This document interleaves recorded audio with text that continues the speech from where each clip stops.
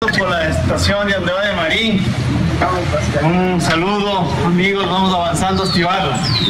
Esta aventura a pie inició en el mes de febrero de este año 2020, a su llegada a la ciudad de Ibarra después de recorrer 28 kilómetros desde Otavalo y más de 600 kilómetros en total desde Durán. Mariano Cruz, torero de profesión junto a Rodrigo Donoso, documentalista y montañista, explican los propósitos de este proyecto. Se hizo en dos partes por el asunto de la pandemia, en fin, fue hasta el 15 de marzo la primera parte y llevamos caminando ya hoy es el décimo día que estamos en la ruta. La flora que se ve es, es, impresionante. Sabemos que la biodiversidad en nuestro país, en lo que es flora y fauna, es inmensa y de esta manera la podemos apreciar más caminando. En cada estación se unieron a su trayecto personas con el mismo objetivo, fomentar el deporte y el turismo comunitario. Vale la pena hacer estas rutas y explorar un poco más eh, la vida turística del Ecuador. Tenemos unos paraísos pero completamente agradables en todo el Ecuador y especialmente ahora que, que lo conocí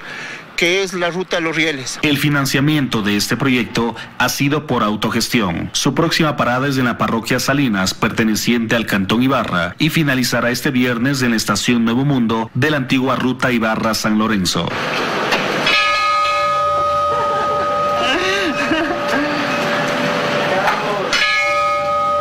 Esto es a pie por los caminos de los que soñaron. Desde Ibarra, provincia de Imbabura, David Vizcaíno Aro, 24 horas.